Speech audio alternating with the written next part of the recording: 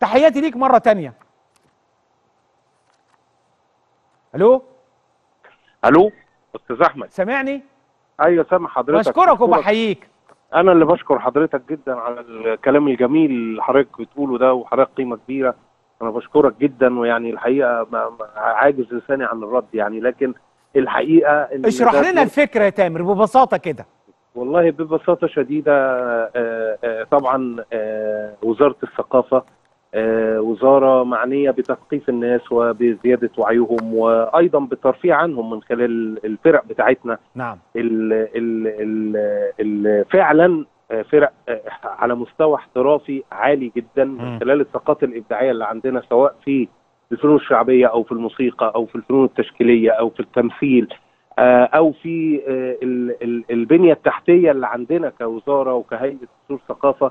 اللي موجودة زي الإسعاف وزي إقسام الشرطة موجودة في كل ربوع مصر هتجد قصر ثقافة في كل محافظة في مصر هتجد قصر ثقافة والحقيقة إن إحنا كمصريين.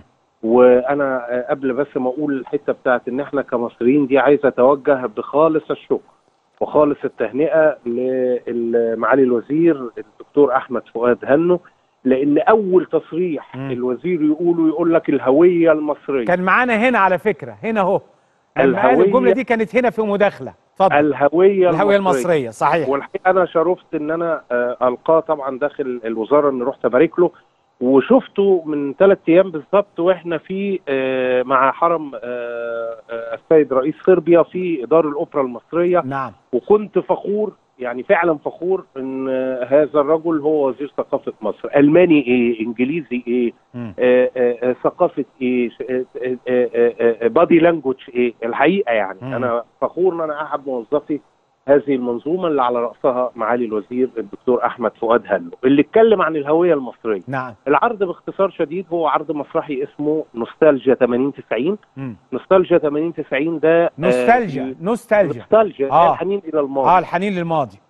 آه راجل آه بيقوم بدوره آه زميلنا الفنان خالد محروس وهو أحد أعضاء فرقة السامر التابعة للإدارة المركزية للشؤون الفنية. عليه ضغوط في الحياة ومراته عاوزة قسط الشاليه وابنه عاوز معرفش إيه وبنته عاوزة تتجوز إيه نعم.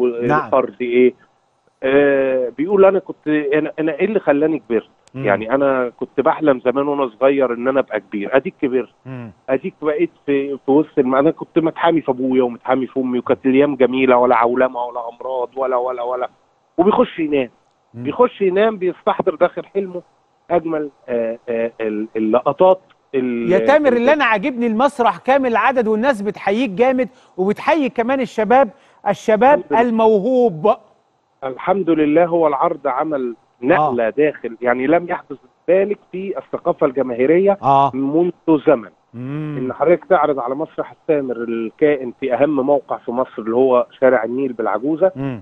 الجمهور يبقى بهذا الشكل وجميع الأنماط وجميع الفئات الثقافية تكون موجودة ده دورنا إن إحنا نعمله جوه وزارة الثقافة وجوه هيئة اصول الثقافة.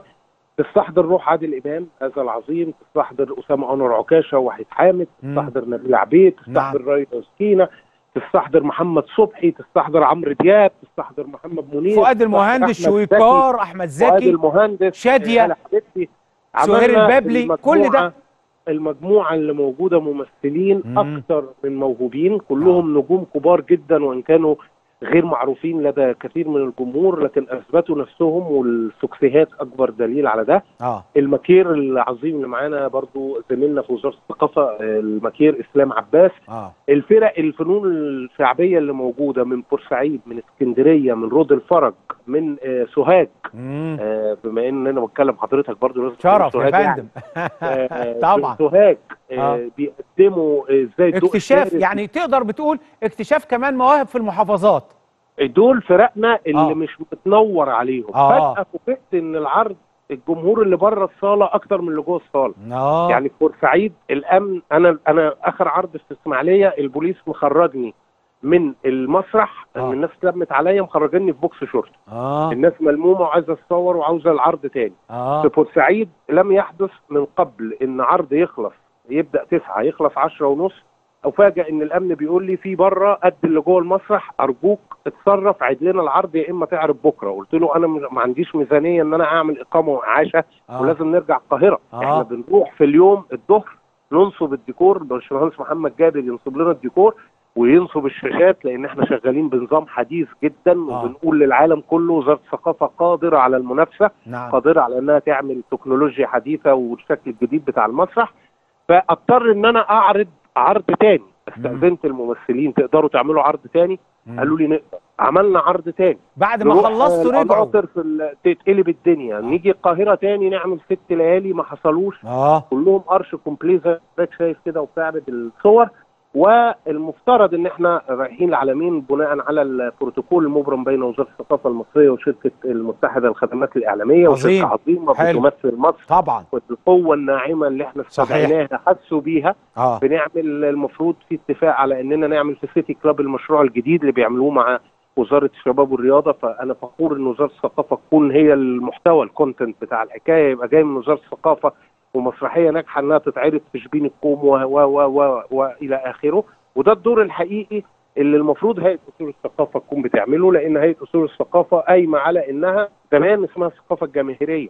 أيام الأستاذ سعد الدين وهبة والدكتور سمير سرحان والدكتور فوزي فهمي إحنا استحضرنا ال- ال- ال- الفن بتاعنا الجامد قوي يا أستاذ أحمد. آه. إحنا عندنا طبعا.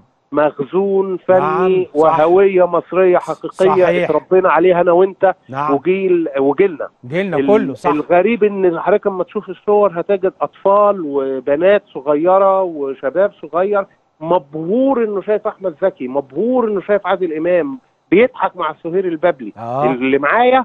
عملوا اللي عليهم وزيادة في إن هم يبقوا بهذا الشكل وإحنا عملنا اللي علينا كهيئة